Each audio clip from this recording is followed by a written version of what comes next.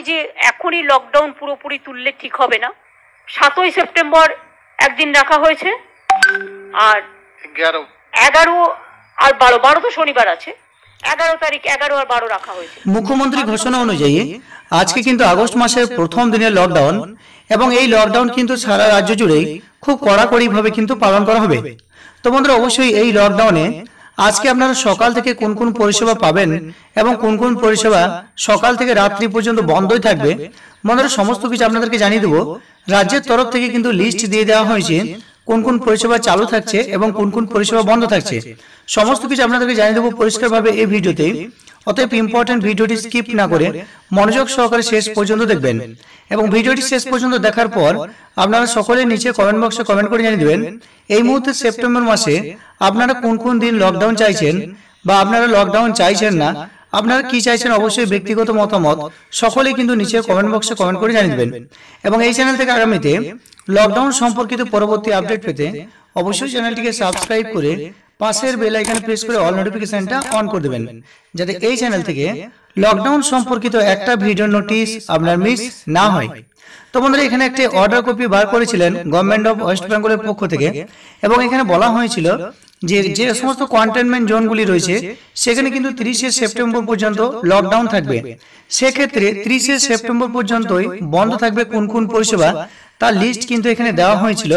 এখানে বলাই হয়েছে যে school ICDS centre, college education training coaching বা আপনার cinema hall swimming pool entertainment park বা থিয়েটার এই সমস্ত পরিষেবা কিন্তু তিরিশে সেপ্টেম্বর পর্যন্ত কিন্তু বন্ধই থাকবে, এমনটাই কিন্তু বলা হয়েছে।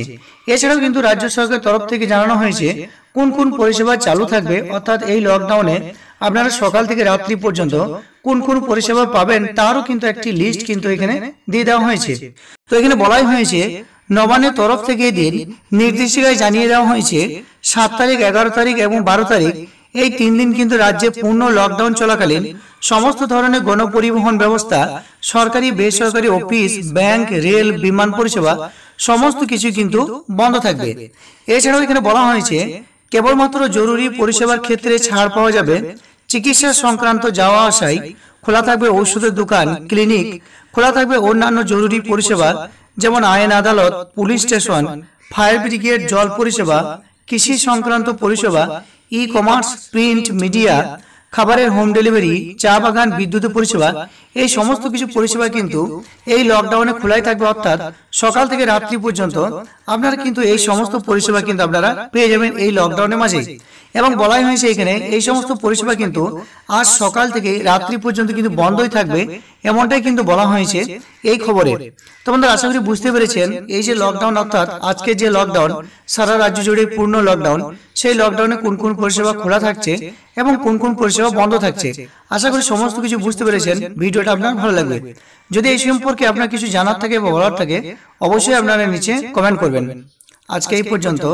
দেখা হবে টেক ইন্ডিয়া ইউটিউব চ্যানেলে লকডাউন সম্পর্কিত পরবর্তী কোনো ভিডিওতে ততক্ষণ পর্যন্ত ভালো থাকবেন সুস্থ থাকবেন এবং টেক ইন্ডিয়া ইউটিউব চ্যানেলের সঙ্গে থাকবেন।